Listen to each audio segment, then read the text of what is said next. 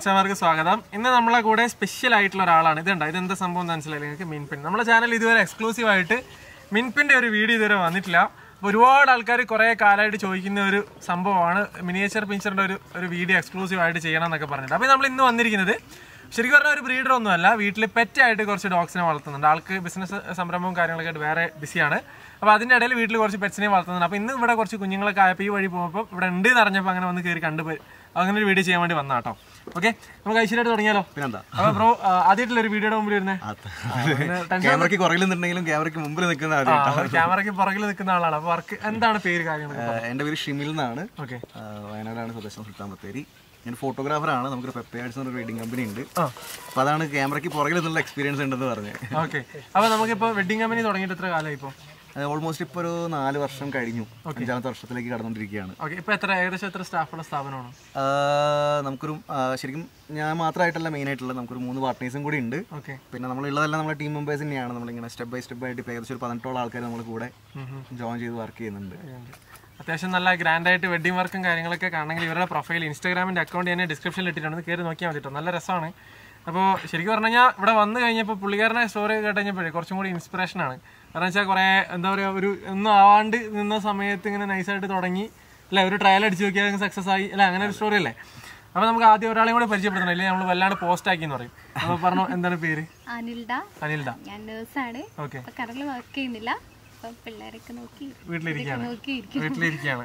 അപ്പൊ ശരിക്കും പറഞ്ഞു കഴിഞ്ഞാൽ ഇപ്പൊ നമ്മളെ വീട്ടിൽ ഡോഗ്സിനെയൊക്കെ ടേക്ക് കെയർ ചെയ്യുന്ന ആരാണ്? സത്യത്തിൽ. സത്യത്തിൽ ഷിമിൽ ബ്രോ ആണോ? വൈഫ് ആണോ? ആരാണ്? ഞാൻ ഞാനങ്ങനെ വലിയ കാര്യമായിട്ട് നമുക്ക് അതിനോട് താല്പര്യമുണ്ട്. പക്ഷെ നമുക്ക് തീരെ സമയം കിട്ടാറില്ല. വളരെ കുറേ ചുരുങ്ങിയ അവസരങ്ങൾ മാത്രമേ നമുക്ക് കിട്ടാറുള്ളൂ. കിട്ടാറുള്ളൂ. അപ്പോൾ മെയിനായിട്ട് വൈഫും മമ്മിയും തന്നെയാണ് ഡോഗ്സിനെയൊക്കെ നോക്കുന്നത്. ഓക്കെ. അപ്പോൾ ശരിക്കും പറഞ്ഞാൽ ഈ ഒരു ഡോഗ് വാങ്ങണം വീട്ടിൽ ഡോഗ്സിനെ വളർത്തണം എന്നുള്ള ഒരു തീരുമാനം ആരുടെയായിരുന്നു വൈഫ് വന്നേ പിന്നെ ഡോഗ്സ് വാങ്ങിയതാണോ? അതോ ഷിമിൽ ബ്രോ ചെറുപ്പത്തിലെ ഡോഗ്സ് വളർത്തിയതാണോ എന്താണ് എന്റെ കുഞ്ഞു കുഞ്ഞ് കുട്ടി കാലം തൊട്ടിട്ട് വീട്ടിൽ ഡോഗ്സ് ഉണ്ട്. നമ്മളെ സാധാരണ നമ്മളെ നാടൻ ബ്രീഡ് നാടൻ പട്ടികളൊക്കെ ഇഷ്ടം പോലെ തന്നെ വീട്ടിൽ എപ്പോഴും ഉണ്ടാവും. ഞാൻ ഡോഗ് ഇല്ലാണ്ട് വീട്ടിലൊരു സമയം ഉണ്ടായിരുന്നില്ല. അപ്പൊ അതുകൊണ്ട് തന്നെ പ്രത്യേക ഒരു താല്പര്യം കാര്യങ്ങളൊക്കെ ആയിരുന്നു. പിന്നെ ഈ ഒരു ലോക്ക്ഡൗൺ ആ സമയമൊക്കെ ആയപ്പോഴാണ് നമുക്ക് കുറച്ചും കൂടി ഒരു പെട്ടായിട്ടുള്ള കുറച്ചും കൂടി അങ്ങനത്തെ ഒരു ഡോഗ്സിനെ കൊണ്ടുവന്നാലോ എന്നുള്ളൊരു ആഗ്രഹത്തിന്റെ പുറത്ത് നമ്മൾ ഫസ്റ്റ് കൊണ്ടിരുന്ന ഇവളെയാണ്.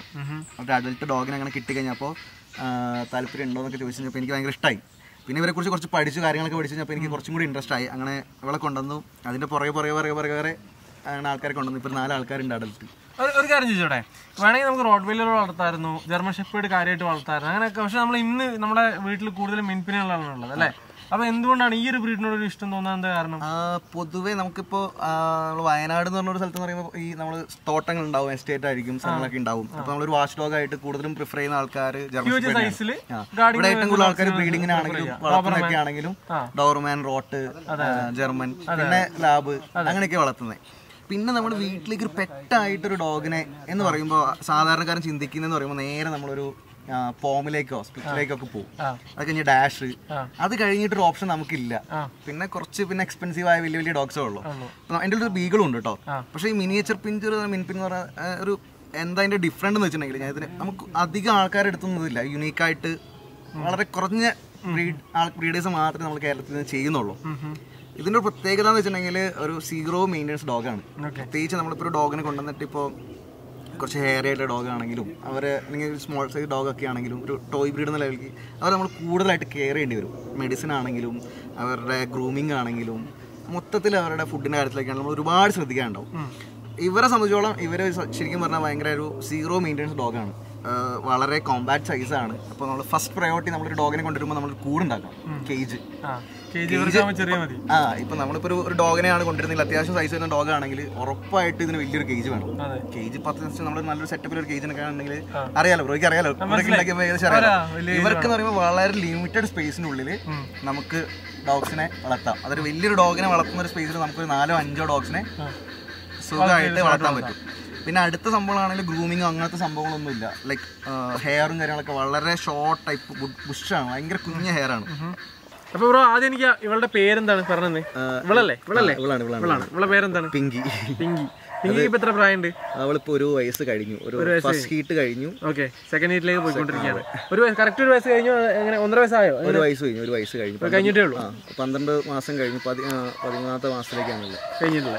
ഇതാണെങ്കിലോ? ഇത് നമ്മുടെ മെയിലാണ്. ഇവൻ ഏകദേശം ഒരു മൂന്ന് വയസ്സ് മൂന്ന് വയസ്സ്. അപ്പൊ ഇവൻ പെറ്റ് ക്വാളിറ്റി ആണ്. പക്ക വീട്ടിൽ പെറ്റായിട്ട് വന്നാണ് ആ, എനിക്ക് ഞാൻ ഇവൻ അഡൽട്ടിന് എടുത്തതാണ്. അഡൽട്ടായിട്ട് വാങ്ങിയാണ്? ആ ഞാൻ ഫസ്റ്റ് കൊണ്ടിരുന്നത് നമുക്ക് ഈ ഇവളുടെ പേര് സൂസി എന്നാണ്. ഓക്കെ. ഇവളെ അഡൽട്ട് ആയിട്ട് കിട്ടുന്നതാണ് ഞാൻ ഈ മിനിപ്പിനിലേക്ക് ഫസ്റ്റ് ആയിട്ട് എത്തുന്നത്. ഓക്കെ. ഇവളെ എടുത്ത് കൊണ്ടുവന്ന് നമ്മൾ കൊണ്ടുവന്ന് കഴിഞ്ഞാൽ ഇവൾ ആ ഒരു ഹീറ്റൊക്കെ കാണിച്ചു തുടങ്ങിയ സമയത്ത് പൊതുവെ എനിക്ക് ഇവരെ മീറ്റേയും കൊണ്ടുപോകാനൊക്കെ ഒരു ബുദ്ധിമുട്ട് വന്നു കാരണം ഞാൻ പല സമയത്ത് ഇവിടെ ഉണ്ടാവാറില്ല. പിന്നെ നമ്മൾ എടുത്തൊന്നും ഡോഗ്സിനെ ബ്രീഡ് ചെയ്യുന്ന ആൾക്കാർ വളരെ കുറവാണ്. പിന്നെ നമ്മളിവിടെ എടുത്തൊരു ചേട്ടൻ ചെയ്യുന്നുണ്ട്. അപ്പൊ അത് നമുക്ക് സമയത്തൊക്കെ കൊണ്ടുപോകാനുള്ള ഒരു ബുദ്ധിമുട്ടൊക്കെ വന്നു. അപ്പൊ അങ്ങനെ നോക്കി കഴിഞ്ഞപ്പോ ഞാൻ നമുക്ക് പറ്റിയൊരു ചെക്കനെ അങ്ങോട്ട് കണ്ടുപിടിച്ച് എടുത്ത് അങ്ങനെ എടുത്ത് കൊണ്ടുവന്നാണ് കൊണ്ടുവന്നതാണ് അഡൽട്ടാണ് എവിടെ കൊണ്ടുവന്നേ? അവൻ എറണാകുളത്ത് കൊണ്ടുവന്നതാണ്. ഇപ്പൊ മൂന്ന് വയസ്സുണ്ടെന്ന് പറഞ്ഞല്ലേ? ശരിക്കും മെയിലിനും പേപ്പർ ഉണ്ട്. പിന്നെ രണ്ട് ഫീമെയിലിനും പേപ്പർ ഉണ്ട്. ഇതിൽ നമ്മൾ ആദ്യം വിത്ത ഇവക്ക് മാത്രമാണ് പേപ്പർ ഇല്ലാത്ത ബാക്കി മൂന്നാൾക്കും പേപ്പറുള്ള ഡോഗ്സ് ആണ്. അങ്ങനെ തന്നെ കൊണ്ടുവന്നാണ് അല്ലേ? ക്രോപ്പ് ചെയ്യാതിരുന്നാണോ അതോ ഇങ്ങനെ ക്രോപ്പ് എന്താ ഇതിൽ ഇവർ ഇവർ സാധാരണ ക്രോപ്പ് ചെയ്യേണ്ട ആവശ്യം ഉണ്ടായിരുന്നില്ല. എല്ലാവരും തന്നെ നല്ല രസമുണ്ടായിരുന്നു. പിന്നെ അവക്കാണ് ചെവി കുറച്ചൊരു ക്രോപ്പ് ചെയ്താൽ കുറച്ചുകൂടി ഭംഗി കൂടുന്നില്ല. പിന്നെ ആ ഒരു സമയം ഞാൻ എടുത്തു കഴിഞ്ഞപ്പോ ഒരു ക്രോപ്പ് ചെയ്യാനെങ്കിലും ഇങ്ങോട്ട് തോന്നിയില്ല. അങ്ങനെ അങ്ങനെ ഇരുന്നോട്ടെ ഓക്കെ അപ്പോൾ അടുത്തായിട്ട് നമുക്ക് അറിയാനുള്ള ഇവർക്ക് എന്താണ്? നിങ്ങൾ ഫുഡും കാര്യങ്ങളൊക്കെ കൊടുക്കണേ എന്നുള്ളതാണ്. അപ്പോൾ പറഞ്ഞു എന്താണ്? നമ്മൾ രണ്ട് നേരമാണ് ഫുഡ് കൊടുക്കണത് രാവിലെ പിന്നെ നൈറ്റ് ഒരു ആറു മണി ആ ഒരു സമയത്താണ് കൊടുക്കുന്നത് പിന്നെ അതിൽ കൊടുക്കുന്നത് വെച്ചാൽ റോയൽ കനാൽ ആർ അത് പിന്നെ പാലും പിന്നെ വെജിറ്റേറിയൻ വെജിറ്റബിൾസ് ഒക്കെ മിക്സ് ചെയ്തിട്ട് കൊടുക്കും. റൈസ് ചിക്കൻ വെജിറ്റബിൾസ് മിക്സ് ചെയ്ത് അങ്ങനെയും കൊടുക്കും. അങ്ങനെ രണ്ടുപേരായിട്ടാണ് കൊടുക്കണത് അപ്പോൾ നന്നായി എങ്ങനെയാണ് ഒരു രാവിലെ ഇപ്പോൾ തുറന്ന് വിട്ട് കഴിഞ്ഞാൽ ഫുൾ ടൈം ഇവർ പുറത്ത് തന്നെയാണോ അതങ്ങനെ കൂട്ടി തന്നെയാണ് അങ്ങനെ സ്ഥിതി എന്താ? ഇല്ല ഒരു പൊതുവെ എന്ന് വെച്ചിട്ടുണ്ടെങ്കിൽ ഭയങ്കര ആക്റ്റീവ് ബ്രീഡ്സ് ആണ്. അപ്പൊ മെയിൻ ആയിട്ട് ഇവരുടെ ഒരു ഷേപ്പ് അല്ലേ നമുക്ക് കാണുമ്പോൾ അറിയാം ഇത് ഭയങ്കര സ്കെൽറ്റ് ആയിട്ട് നമ്മൾ ഏകദേശം ഒരു ഡോഗർമാരുടെ ഷേപ്പ് ഒക്കെ വരുന്ന ഡോഗാണ് ആ ഒരു കാറ്റഗറി തന്നെയാണ്. അവരുടെ ഫാമിലി തന്നെയാണ്. പിഞ്ചർ എന്ന കാറ്റഗറി തന്നെയാണ് ഡോഗും വരുന്നത് ഓക്കെ. അപ്പൊ മെയിൻ ആയിട്ട് ഇവർ നമ്മൾ കൂട്ടിലിട്ടിട്ട് ഭയങ്കര തടിയൊക്കെ കുടിക്കാൻ ഭയങ്കര ബുദ്ധിമുട്ടാണ്. കാരണം അവരുടെ കാലൊക്കെ ഭയങ്കര ചെറുതാണല്ലോ. ഓക്കെ. അപ്പോൾ ഇവരെ മെയിൻ ആയിട്ട് നമ്മൾ ഒരു അരമണിക്കൂറെങ്കിലും ഇവരെ കളിക്കാൻ വിടും. അപ്പോൾ നമുക്ക് ഇഷ്ടം പോലെ സ്ഥലമുണ്ട്. ഇവരെല്ലാവരും കൂടി ഓടിച്ചാടി നടന്ന് കളിച്ചോളും. അപ്പോൾ നമ്മൾ രാവിലെ തുറന്നു വിട്ടു പൊതുവെ ഓപ്പൺ ഏരിയ ആയിട്ട് വളരുന്നതൊക്കെ. ഓക്കെ. അപ്പോൾ വെച്ചാൽ വരെ അപ്പോൾ നമുക്ക് അടുത്ത ബീഗിളിൽ കാണാനുണ്ട്. അപ്പോൾ അതിനു മുമ്പായിട്ട് ആർക്കെങ്കിലും മിൻപിന്റെ പപ്പീസോ കാര്യങ്ങളോ വേണമെന്നുണ്ടെങ്കിൽ ഒന്ന് കോൺടാക്ട് ചെയ്താൽ മതി. എന്തായാലും വീഡിയോയിൽ നമ്പർ ഉണ്ട് അതുപോലെ ഡിസ്ക്രിപ്ഷനിലും നമ്പർ ഉണ്ട്. അപ്പോൾ നമ്മൾ എന്തെങ്കിലും കെന്നലായിട്ട് തുടങ്ങാനുള്ള പരിപാടികൾ എന്തെങ്കിലും ഉണ്ടോ? അങ്ങനെ പ്രത്യേകിച്ചും വരുത് ഇപ്പൊ നമ്മളൊരു രസമായിട്ട് തന്നെ പോകാനുള്ള പരിപാടിയാണ്. അല്ലാണ്ട് ഒരു കെന്നൽ എന്നുള്ള രൂപത്തിലേക്ക് അത്രയും ആ ലെവലിലേക്ക് ഒന്നും കൊണ്ടുപോകാൻ ആഗ്രഹിക്കുന്നില്ല. ആഗ്രഹിക്കുന്നില്ല. അപ്പൊ കൈസ് എന്തായാലും ഫാദർ ഇതാണ്. അതുപോലെ തന്നെ മദർ അതാ കയ്യിലെടുത്ത് പിടിച്ചേക്കുന്ന ആളാണ്. അപ്പൊ രണ്ടുപേരുടെയും കൂടെയുള്ള പപ്പീസ് ആണ്. അപ്പൊ താല്പര്യമുള്ള ആൾക്കാർ കോൺടാക്ട് ചെയ്തു. അപ്പൊ നമുക്ക് ഇനി അടുത്ത് നമുക്ക് ബീഗിൾ ഒന്ന് കാണിച്ചാലോ? ഇവിടം വരെ വന്നിട്ട് ആളെ കാണിച്ചിട്ട് മോശം ഓക്കെ.